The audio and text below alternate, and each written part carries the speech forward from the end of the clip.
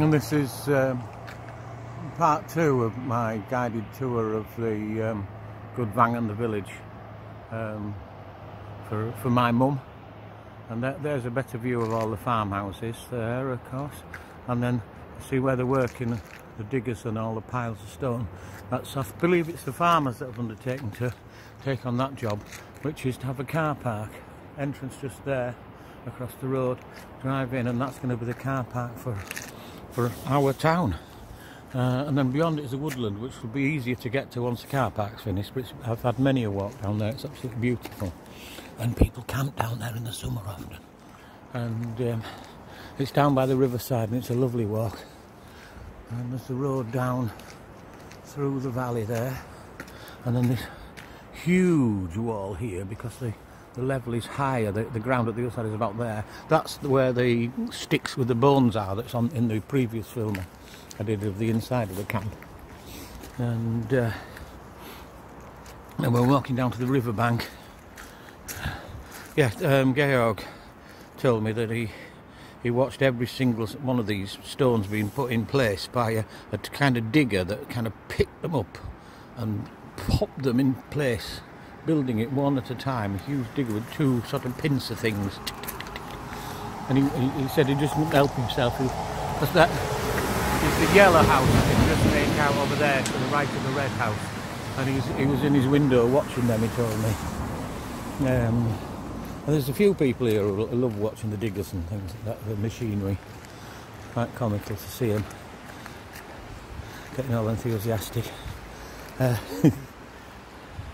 And, and the river is normally calm and crystal clear because it's been such wet weather lately that, that all the, the, water is building up. I've known it be really wet before and I've never known the river to be this full either. And of course we're getting rock falls occasionally. With this time of year that's very rare. Some people have blamed global warming as the inside of the mountain is always below freezing. But um, the heat, we have had a long heat hot patch so it's probably just that but it's like it's reached deeper than it ever has done before and, and has um,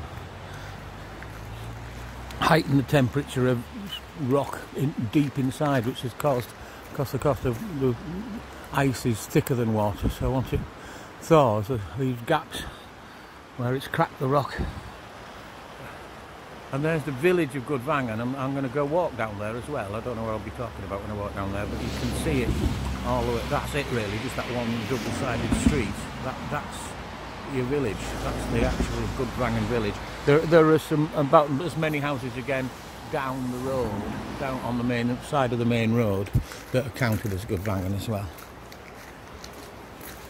So them, the people down there and the people in the farmhouses are kind of more like the citizens of. Um, Gudvangen, I would have thought. And can we make out that rock above, quite a big rock just above the grey house? That's a that's bigger than a house, and that's a rock fall. I'll be filming that when we're over there. I've watched um, little creatures running in and up here. You call them polecats, but um, um, I don't know what you might call them, weasels sort of type things. But they're slightly different to the ones we get in Britain. Uh, and we, we, over the over the in the other valley beyond there, which is a bit sort of not as steep as this, a bit more gentle. We were driving round in there uh, last year, and Angela said, "Stop, look!" And Gabe pulled the car up, and there was a, a polecat with a, a dead lemming in its mouth. It looked like a lion carrying a deer, and it was really weird because we had the engine running, all the windows down, we're all looking out, and it um, it came back out of its rock with its lemon in its mouth, and looked lemming, not lemon, and and and kind of looked at us and said, keep on my lemming. Did. And then,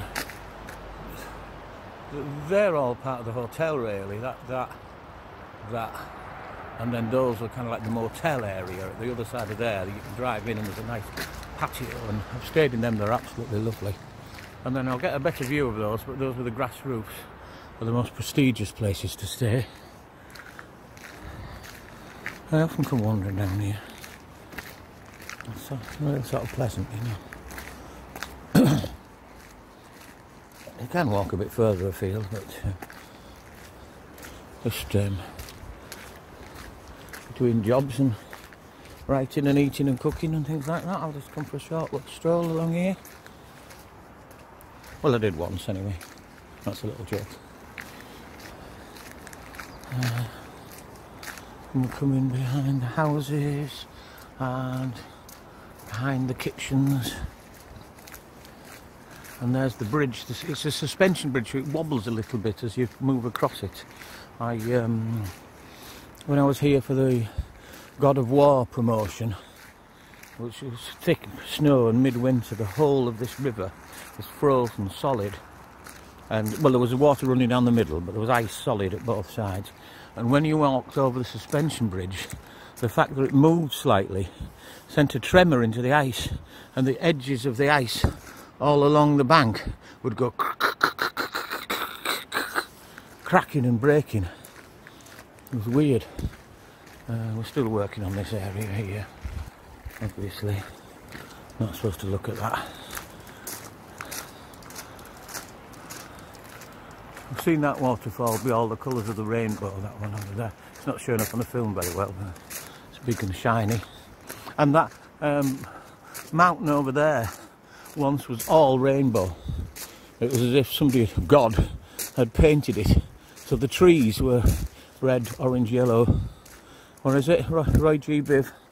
Red, orange, yellow, green, blue, indigo, violet. Round Old York, great buildings eye view. So the mountain itself was like a rainbow. Amazing to see. You see all sorts of things. That waterfall there, I saw it go come. It's massive.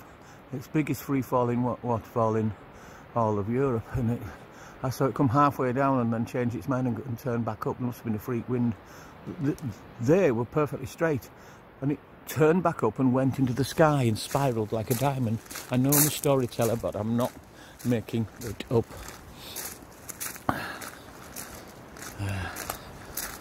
I'm coming to come into the end of this little section.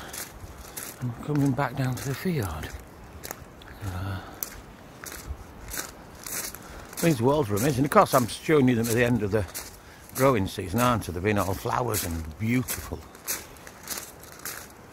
to think, you know, the place is only two and a half years old and the walls only about a year old. To already have it full of growth like that, it's fantastic. And all this area, see that fenced area and this here and all the way down to where that guy's taking pictures when it's the market, all of that is full of tents and stalls. Down by the water side is um, Saladin's, um, where they sell all nuts and sweets and dried, uh, healthy sort of sweet things, you know, and, and, and you can go and have a drink, coffee, etc., etc., cough, cough, cough. Uh, and then I'll just walk back to where I started off, and then that's um, in Mum 1, and this is Mum 2 winding up.